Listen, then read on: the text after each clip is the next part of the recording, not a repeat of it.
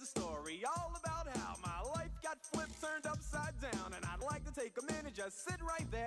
Well, 29-year-old Steven Bartlett is a multi-millionaire entrepreneur, making history by becoming the youngest ever dragon to join BBC One's hit series Dragon's Den. Because your childhood is um, is fascinating. Nigerian mum Esther um, and uh, and your dad, who's Graham. You say you were a poor family in a in a wealthy neighbourhood, but you, not an unhappy family, but no money.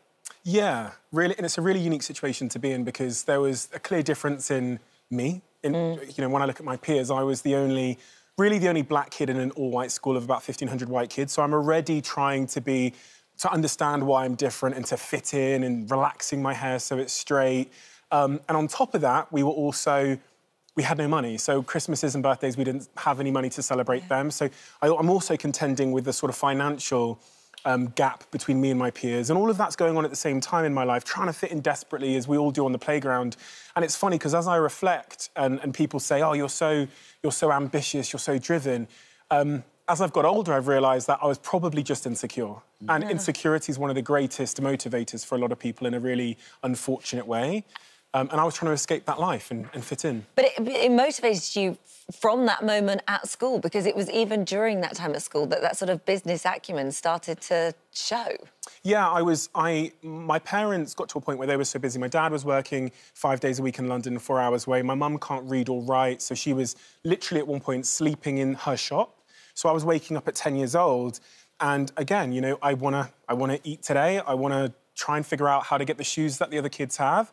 And I learned because of that independence this really important connection that I hope my kids learn, which is if any, if I'm going to have anything, it's going to be di a direct consequence of my behaviour. Mm. So I would wake up and my lunch money would come from me selling something. Or um, so by the age of 14, I started running the school trips in the school. I, I did a deal with a vending machine company to fit our whole school with vending machines, and they were going to buy them. We got them for free and made commission on every sale. And I got to the point where I was so preoccupied with that not attending my classes. The school were trying to, half the school was trying to expel me. The other half was trying to keep me because I was generating a lot of revenue. Um, and I decided that I would, would no longer go to school. So um, I focused on the business stuff. Bad boys, bad boys, what, you gonna do? What you gonna do when we come for? Getting jiggy with it. Getting jiggy with it.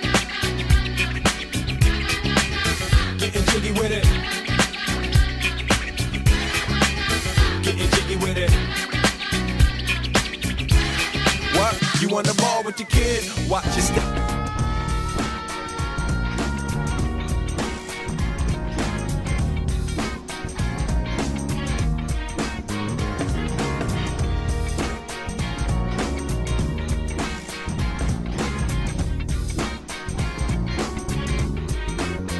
make it hard for you. Get down with the blast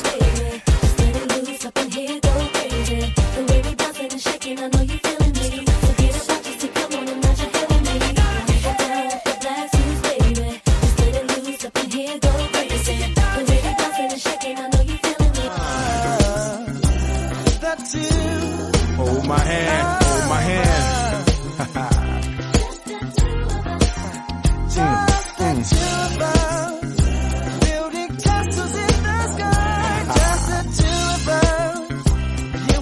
Taking on the world, taking on the world.